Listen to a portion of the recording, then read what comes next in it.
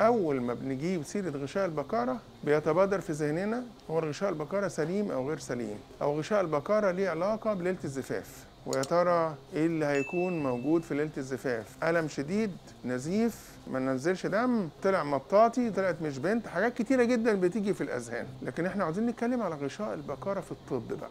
غشاء البكاره والأطفال. غشاء البكاره وانسداد غشاء البكاره جزء من عيب خلقي في ال urogenital sinus. فاتقفل غشاء البكاره ما اتفتحش كان المفروض يتفتح. وبالتالي حصلت مشكلة عند طفلة.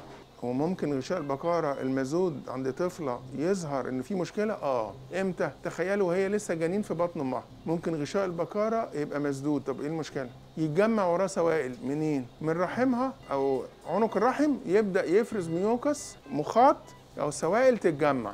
أول حاجة البنات ممكن تشتكي بيها مشاكل في الجهاز البولي تكرار في البول أو احتجاز بولي مغص شديد وألام وممكن نكتشف الموضوع ده إمتى في يوم الولادة النهارده هنتكلم إن يوم الولادة يوم مهم جدا وفارق كبير جدا جدا جدا. متابعتنا أثناء الحمل بنبص على ال baby بالسونار اللي بيتعمل للأم على مهبل ورحم الجنين اللي موجود عشان ممكن نكتشف مشكلة موجودة سواء كيس على المبيض أو مشكلة زي ما بشرحها دلوقتي انسداد في غشاء البكارة عندنا النهارده حدث لطفلة عندها أربع سنين بتشتكي بألام متكررة في بطنها أسفل بطنها وبتشتكي بمشاكل في البول. لما عملنا الرنين عشان نثبت البنت فيها إيه؟ ما فحصنا لقينا المنظر ده. دي البداية اللي هنتكلم ونشرح بيها عالم البنات الخفي. شايفين ده؟ المثانة البولية. قصادها إيه؟ ده المهبل. شوفوا لغاية تحت متجمع سائل لونه أبيض أهو زي المثانة البولية. زي البول ده سائل جنبه شبهه كده. فعامل إيه؟ متجمع ورا السد ده. في أربع أنواع عندنا موجودين هنا.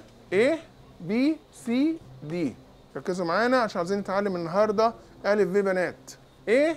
انسداد في غشاء البكاره اتجمع السائل المخاطي أو السائل الشفاف المائي أو لو كبرت البنت ودخلت في سن النضج هيبقى تجمع دموي. هنا ده atresia. atresia يعني إيه؟ غشاء البكاره مفتوح لكن المهبل فوقيه مصمت blind ما اتفتحش. فباسمه vaginal atresia ثلاثة transverse vaginal septum حاجز جاي بالعرض.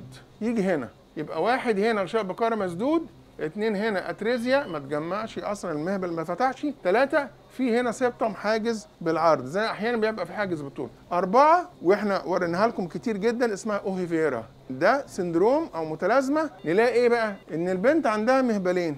هنا نص المهبل مقفول النص التاني لأ. البنت عندها رحمين. بس في النص اللي فيه الأوهيفيرا في كليه واحدة مش موجودة. لأن بيبقى دايما في مشكلة ما بين الجهاز التناسلي والجهاز البولي فدايما لما ألاقي الموقف ده قصادنا حلول. يا إما بنعتقد إن غشاء البكاره فقط هو اللي فيه المشكلة أو ال septum بس فيه المشكلة وساعات بيبقى كده أو إن هو جزء من متلازمة وتشوهات أخرى. يعني ممكن نلاقي بقى في مشكلة في الجهاز الهضمي في ال skeleton الجهاز الهيكلي أو إن عنده مشاكل في القلب أو أحيانا ال XY بتبقى XY و mix ممكن تبقى متلازمة Turner syndrome عندها مشاكل في ال intersex هل هي ولد نص ولد ونص بنت الاوفيتستس كلام كتير جدا. تعالوا نشوف النهارده رقم واحد إحنا دخلنا أهو مكان مسدود أهو وبالجنج أهو.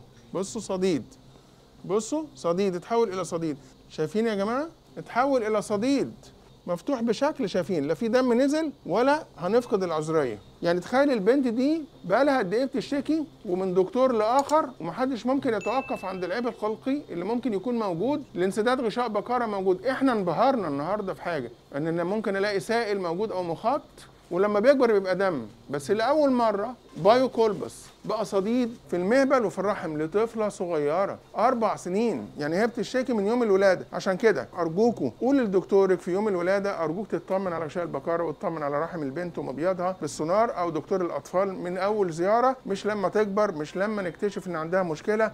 كل ما اكتشفنا بدري الأمور هتبقى أفضل. أنتوا شفتوا الصديد هنا. الصديد هنا لما يتجمع هنا يخش فين؟ في الرحم وبعدين في الأنابيب. ممكن تخش في toxic shock syndrome تخش في صدمة والبنت تلاقي ممكن ارتفعت درجة الحرارة وبتترعش وراحت فيها وإحنا مش عارفين السبب إيه ومتخيلين حمى تيفود أو meningitis التهاب سحائي أو اي مرض ما وهو الموضوع بادئ من تحت. ادي واحد. اتنين غشاء البكاره لما بيكون موجود كده ومسدود وتجمع دموي هيرجع retrograde فده اللي هيعمل endometriosis في المستقبل بطانة رحم مهاجره في المستقبل و adenomyosis في علاقة مباشرة ما بين انسداد غشاء البكاره وال transverse vaginal septum وال OHVIRA وال adenomyosis تجدد الرحم أو ال endometriosis بطانة الرحم المهاجرة. أرجوكوا ألف ب اتعلموا. طب والعدسة ما بتكذبش. رافعين شعار العدسة ما بتكذبش. يعني إحنا داخلين بالمنظار فشايفين بعينينا وتعلمنا بعينينا وبودننا وبمخنا والحمد لله على سلامتها